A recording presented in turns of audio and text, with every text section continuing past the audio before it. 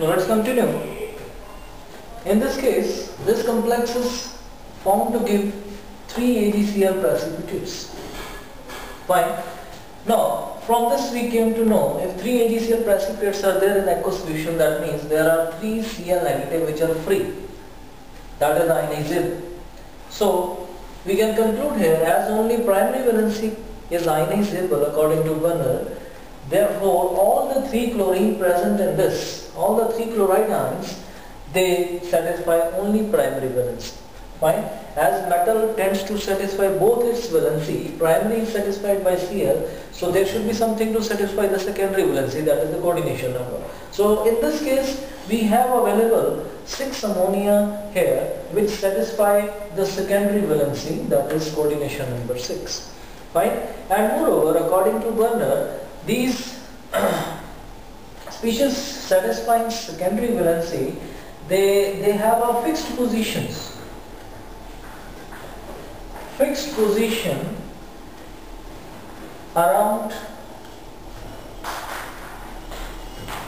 the metal ion in space. So that means this will give rise to the geometry of the compound. Right? So let's observe the structure given for this compound is this. Here all the bold lines, six bold lines pointing towards six corners of octahedron are satisfied by ammonia only because we have six available ammonia and moreover the three Cl are shown by dotted lines attached to cobalt. These dotted lines can be placed anywhere because they are simply ionic bonds and ionic bonds are directionless. Fine. So you can put them anywhere.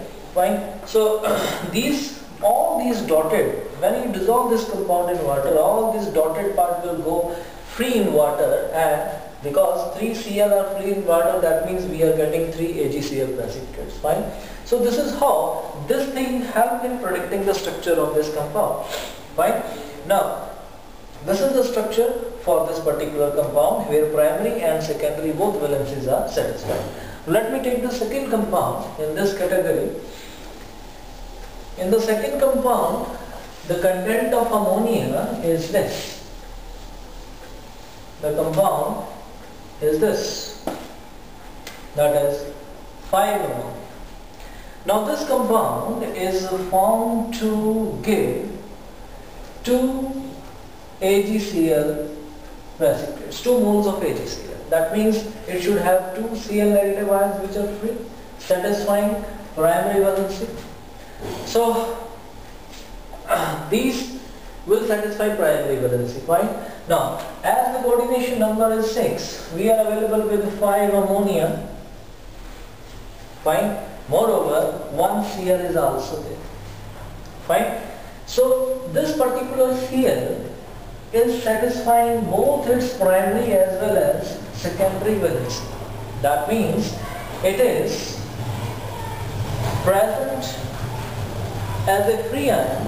Moreover, it is present as a ligand also.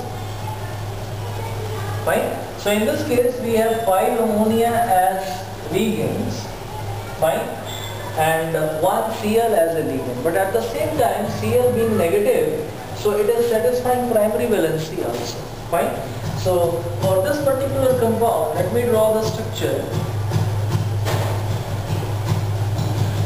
Here, the five position of the octahedron are occupied by ammonia and you can place Cl at one of the position. Now this Cl is attached to cobalt with a bold line showing that it shows it satisfies the secondary valency but at the same time it is satisfying the oxidation state of cobalt. So we have to place dotted as well as bold lines. Then other two Cl can be placed anywhere shown by dotted lines, right? So these two Cl satisfy only primary valency and this Cl satisfy primary as well as secondary valency and all other ammonia are satisfying secondary valency only, right? So this particular complex, at that time it is given this type of representation for these compound. But if you have to represent the, this complex uh, in today's time, then you can represent it like this. Cobalt, 5 ligands are ammonia, 1 is Cl and 2 are at an outside. Fine? That means this is satisfying only oxidation state due to its charge while this is satisfying the oxidation state as well as it is acting as a ligand. Is it fine? So this is the difference. This is the variable representation of a complex. This shows that the part which remains outside this bracket, that is the coordination sphere, this will dissolve in water and give you free ions. Fine? So this is the representation for this particular complex. Right? Now let's take the third example.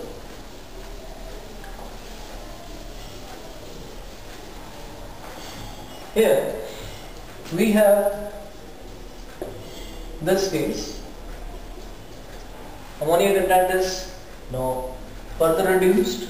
This will give us 1 AgCl precipitate 1 mole of AgCl precipitate in water. Fine. This shows what? That means there is only one Cl negative which is free in water.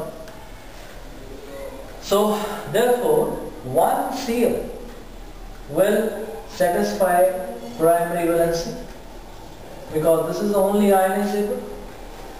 4 ammonia are there as well as 2 Cl. They will satisfy the secondary valency. That means they all will act as lead. But at the same time, the plus 3 charge of cobalt has to be satisfied. One Cl is doing that job, so these two are also doing that job. That means these two Cl will also satisfy oxidation state of metal, that is its primary valence. Fine. So on the basis of this discussion, we can draw its structure like this. Here we have ammonia at four positions, while Cl at two positions. These are very special Cl because they satisfy both primary as well as secondary valency fine and there is one Cl represented by only dotted line. This represents only the primary valency. So this is the ionizable part. Let us rep represent this complex this complex will be represented like this ligands written in the bracket fine and the counter ion, that is ionizable part is outside the bracket. So this is representation, coordination number 6 and here one counter ion Cl negative is given out. Fine. So last example. So reaction with silver nitrate led us to know that how the primary and secondary valency is satisfied by different species. Here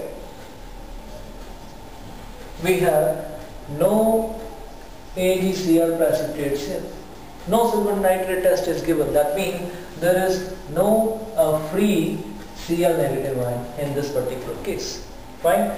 So therefore, in this case, 3 ammonia and 3 Cl all are satisfying secondary valency. But you know, these three will satisfy primary valency also. But this satisfy only secondary, being neutral. They cannot satisfy the plus charge of cobalt. Fine. So let's represent this complex. It will be represented like this. 3 ammonia are there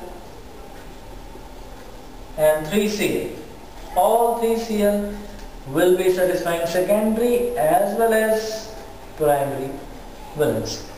So we represent this complex like cobalt three ligands are ammonia and three are right? So this is totally an unionizable complex.